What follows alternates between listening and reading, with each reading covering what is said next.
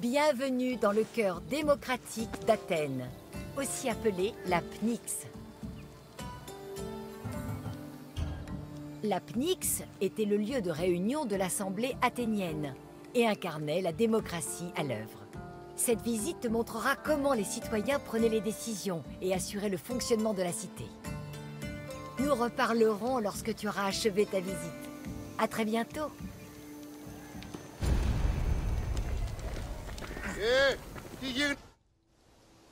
L'assemblée athénienne était appelée l'Ecclésia. Elle se réunissait sur la Pnyx 40 fois par an afin de discuter de divers aspects de la vie de la cité.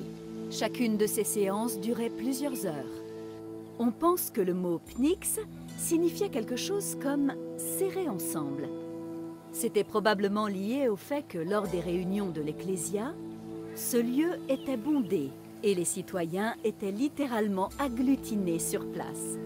Les citoyens, tous de sexe masculin, pouvaient directement prendre part au processus démocratique. Ceux qui étaient âgés d'au moins 20 ans avaient le droit de parler et de voter, et ceux qui avaient plus de 30 ans pouvaient être élus au poste de magistrat. Athènes, à l'époque classique, comptait quelques 30 000 citoyens. Pour proposer et adopter des textes, il fallait que 6 000 d'entre eux soient présents.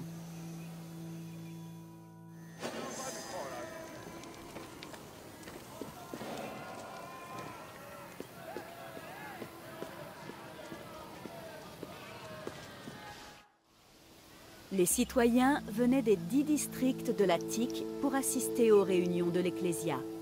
Chaque réunion était présidée par un conseil, les Pritanes. Chaque séance commençait par un sacrifice à Zeus Agoraios, protecteur de l'Assemblée. Lors de la réunion, les citoyens faisaient des discours depuis la plateforme de la Pnyx à propos des questions auxquelles était confrontée la cité. Ensuite, les citoyens présents participaient à un vote à main levée. L'Ecclésia prenait des décisions importantes à propos de sujets comme les importations de grains, les dépenses de la cité et les déclarations de guerre. Si les citoyens ne pouvaient pas promulguer directement les lois, ils participaient à la nomination des législateurs d'Athènes, ce qui leur conférait un rôle important dans le fonctionnement quotidien de la cité.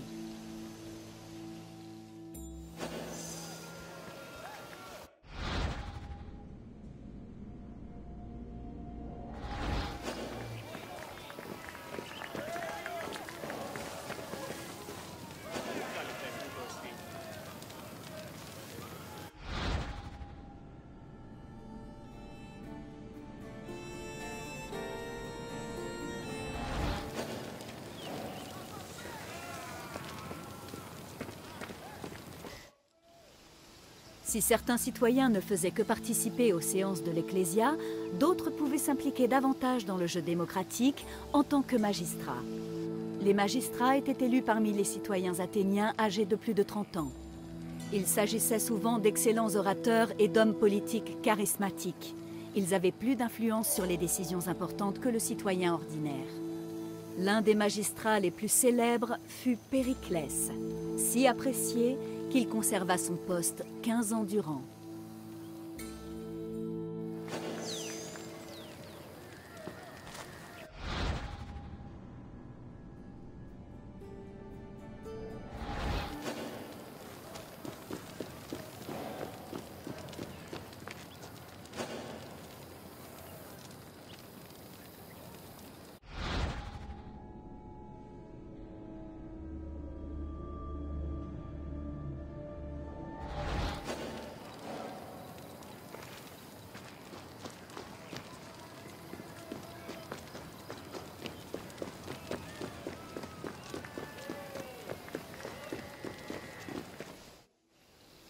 En théorie, chaque citoyen athénien de plus de 20 ans avait le droit de participer à l'Assemblée.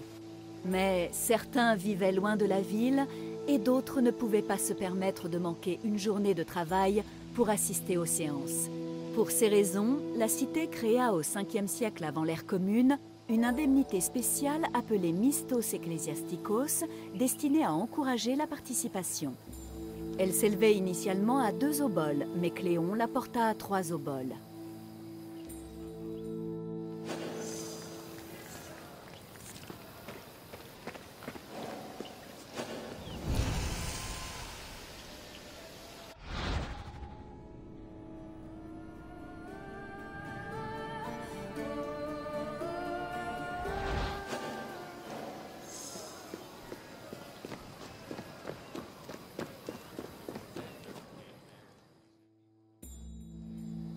Athènes introduisit plusieurs nouveautés qui eurent un retentissement majeur, notamment dans le domaine du théâtre, de l'architecture et de la philosophie.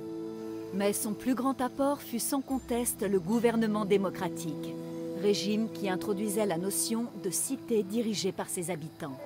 Intervenue en moins 508, la décision d'adopter la démocratie en tant que forme de gouvernement modela la civilisation de l'époque et continue de nous influencer.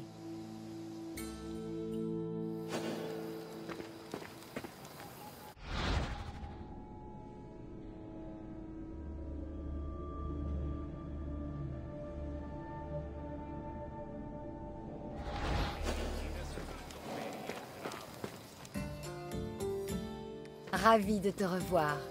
J'espère que cette découverte des rouages politiques de la cité t'a plu.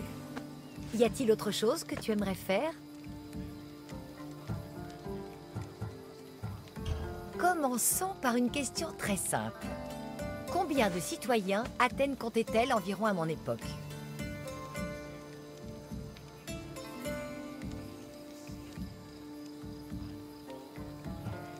Oui, il y avait approximativement 30 000 citoyens à Athènes, mais la population de la cité était bien plus importante.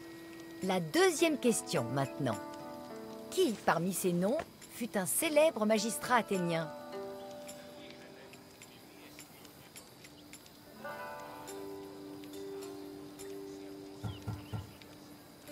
Oui Périclès était un magistrat extrêmement populaire qui a réussi à rester à ce poste pendant 15 ans. Bon, plus qu'une question. Que signifie le mot pnix